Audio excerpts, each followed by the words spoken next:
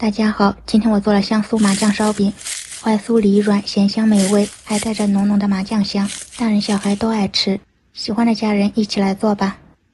准备两百五十克的面粉，加入一点五到两克酵母粉，搅拌均匀。加入清水一百六十五毫升，搅成絮状。下手揉成团。现在天气比较热，所以酵母粉的用量比较少，水用凉水即可。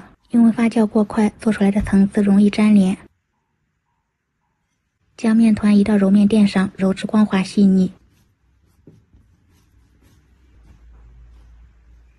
像这样就可以了。盖好，醒十分钟。取一个小碗，加入三十克的芝麻酱，加入十到十五克食用油，八克老抽调色，最后加入适量盐和五香粉调味，调成这样的麻酱汁备用。面团不要等到完全发酵，半醒发的状态即可。揉面垫上撒一层干粉防粘，如视频中这样将面团整理成上窄下宽。再用擀面杖擀薄。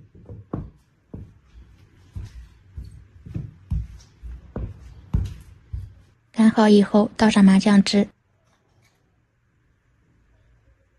用刮板刮均匀，撒上一层干面粉，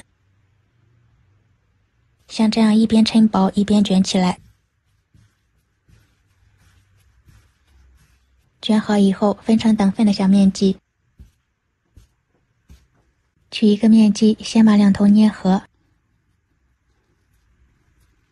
再把面剂对折，周边往中间收拢，整理成圆形。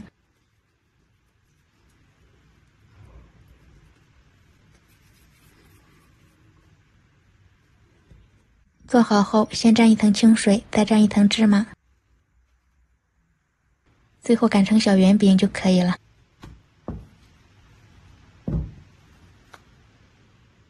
电饼锅预热，多刷一点油，放入饼皮，表面喷油，锁住水分，盖上盖子，中小火烙饼，烙至底部定型上色，翻烙另一面。烙至另一面上色，再次翻面。烙的过程中勤翻几次面，这样烙出来更酥。烙至金黄酥脆就可以出锅了。这样我们的麻酱烧饼就制作完成了。听一下声音，外皮特别酥，加了酵母粉，内部还十分柔软，非常容易消化。咬一口，香酥掉渣，满满的芝麻香。喜欢的家人收藏试做吧。